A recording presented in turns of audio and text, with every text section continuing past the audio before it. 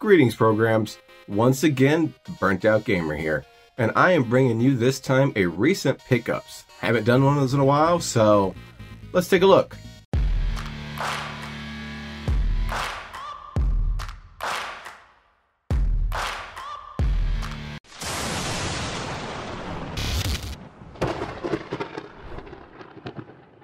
So, anyone that knows me knows that I love going thrifting. I love going out and just kind of seeing what I can find, seeing what's out there, and quite often I find junk. I find nothing at all. But uh, there are enough times when I do find something really cool.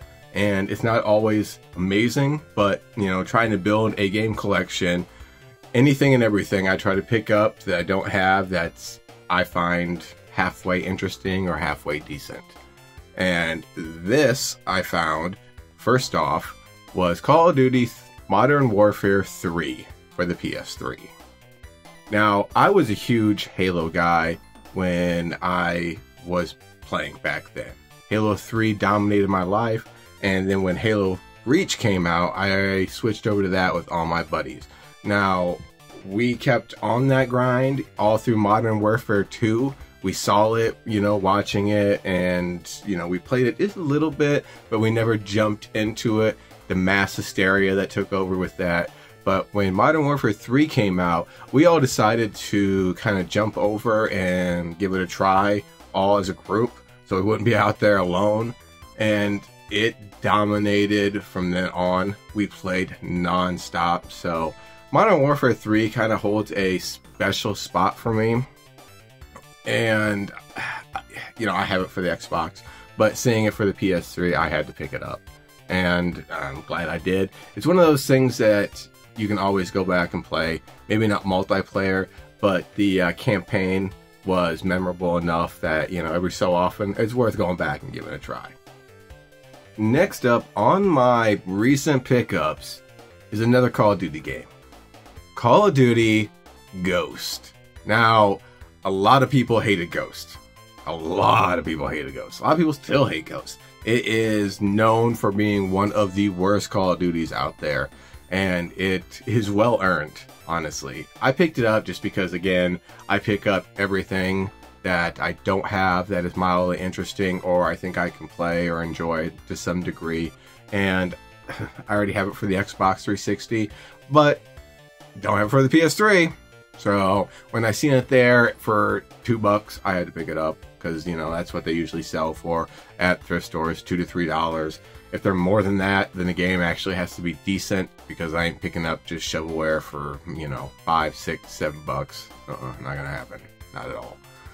But Ghosts, the multiplayer sucked really bad. It was trying to be Battlefield. That was the whole thing about it. The maps got bigger. They had interaction, which was just stupid. I mean, they wanted to have. They wanted to be Battlefield. They wanted to have collapsible buildings without having collapsible buildings. So you'd walk over, press X, and some logs would fall or something like that. It was really stupid. It was made no difference to the maps. They would change afterwards. Like you could like run up, you know, a log after you like dropped them all down. But that was it. Um, the only reason I picked it up is because with any Call of Duty game, and I firmly believe this, that the multi or the uh, campaign is completely worth it. I mean, for two to three dollars, yeah, like they're always the campaigns for all the Call of Duties are usually really good. They usually get some star power in there. They're usually pretty memorable. I mean, they're usually meme worthy.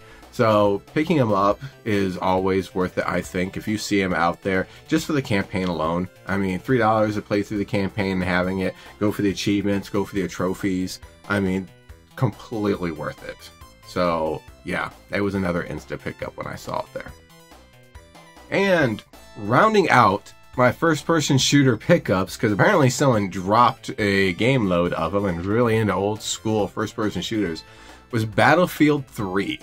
Now, I was never really a Battlefield guy. I was always more of a Call of Duty guy when I was playing a lot of Call of Duties or military first person shooters back then. But uh, Battlefield was always awesome. I mean, it always had the destructible environments, bringing down buildings, you know, all that stuff. I played through the campaigns on some of them. And again, that's why I picked up this one, is just because the campaign. Totally worth it. All these first person shooter games like that, Battlefield, uh, Ghost Recon, uh, Call of Duty, all of those that have a campaign on them is usually worth playing through. If nothing for the achievements or the trophies. I mean, why not, right? Always go through. That way, when you see the memes, press F to pay your respects. You know, hey, yeah, I've seen that. You know, so another instant pickup, Battlefield 3. Recommend playing through the campaign. Now, usually when I'm out and about making my rounds to all the thrift stores, because I usually have a route for all the local ones. I live in a large city, so I have access very nicely to many of them. But uh, also have a few local game stores that I like to stop through. And stopping at one, I also picked up this week Gyruss for the NES. Now, I had this game way back when I was like 10 and I remember trading it away for Mega Man 2. And that's definitely a trade up. Like, universally, anyone would say that's a trade up. But for some reason, I really, really, really enjoyed playing Gyruss back then. So I always had this longing because I never got a copy back of it. And, like, it just always bothered me that I never got a copy of Gyruss back. And maybe, I mean, the gameplay was very simple. You just go around the circle and shoot at things in the center. But it had that really ominous music that would play that didn't really match the game.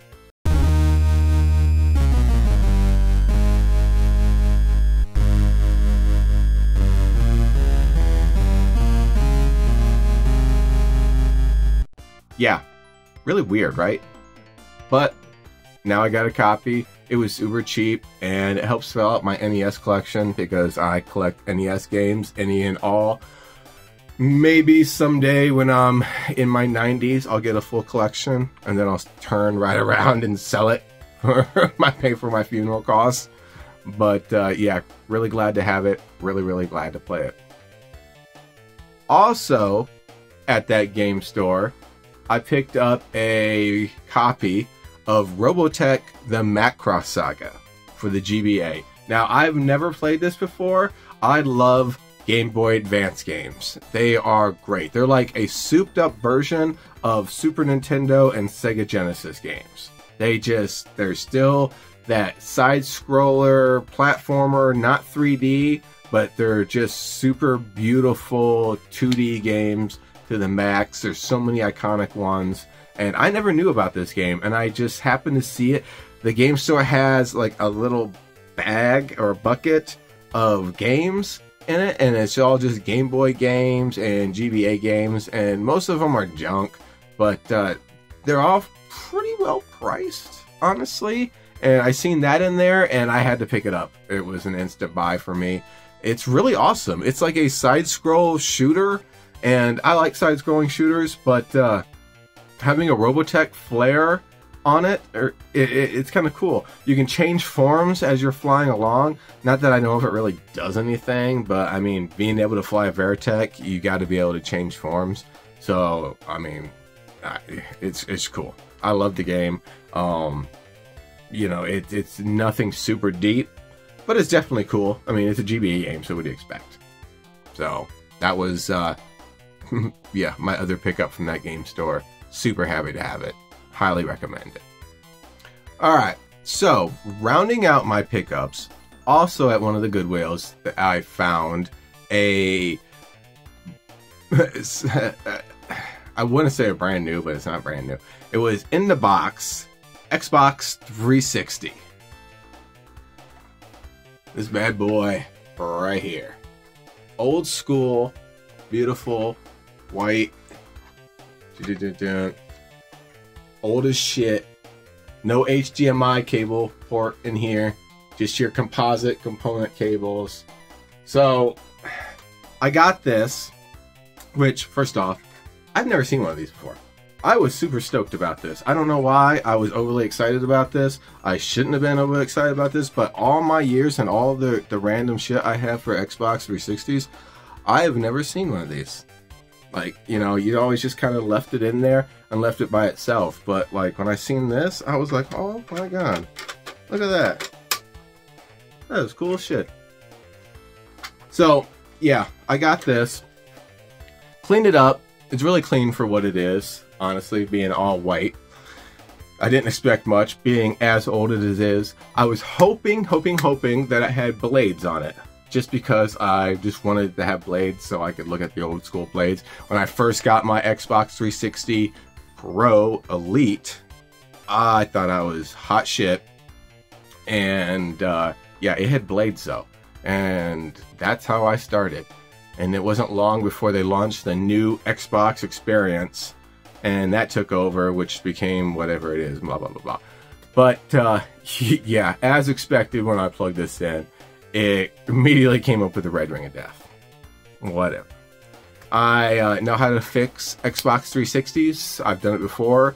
So I plan at some point, I got a lot of mod jobs that I love doing, but uh, my laundry list of them right now is really long. So this one is kind of at the bottom of it. But uh, yeah, I plan on opening it up redoing the thermal paste, all that good stuff. And uh, hopefully, when I do get it working, when I turn it on, it will have blades. So if it does, that would be super awesome. Super, super awesome. A lot of these, when you turn them on, they're like time capsules. I love that about old systems. You turn them on and you can pretty much see exactly when the person stopped. You know, their achievements or the games they stopped, you know, 2012, 2008, 2010 and it's just kind of funny to see, you know, like a little time capsule of gaming history. So, yeah, it was uh, 20 bucks. Came with a controller. It came with a. It was kind of a janky controller. It was official, but yeah, I mean, it's been used. It needs to be cleaned up. It needs to be all that good stuff. Uh, it came with a battery charge port, you know, because the old through school 360s just had those little batteries that you could like stick in there, and they had the official one where the two went in there. So yeah, it came with one of those, no cord. Uh, it came with the power brick and it came with the uh, old school composite cables. So yeah, I mean, it was what, 20 bucks and it came with a box and that was it. The big green old school box. So yeah, for all that for 20 bucks, I'll, yeah, I'll do that all day long. You know, since I know how to fix them, it ain't no big thing. So yeah, that was my finds. That's my recent pickups. I uh, was real happy. It was a good haul. Usually, you know, they're not always like that, but when they are, it's always super exciting. So I hope you enjoyed hearing about that. I enjoyed talking to you guys. Um, my rambles, and that's pretty much all it is. So uh, Tell me about your finds. Do you like going out, finding that stuff? Let me know in the comments. Let me know uh, if you enjoy any of the games that I found. What do you think about Call of Duty? What do you think about the campaigns? I know the multiplayer is multiplayer, and then more uh, Battle Royales and Warzone has taken over. But uh, yeah, old school Call of Duty. Uh, I know we were all there at some point. Most of us were. And uh, yeah, let me know. So, till then, remember, always, always, always be excellent to each other. Uh, subscribe, like, ring the bell, all the good stuff. And until next time, later on.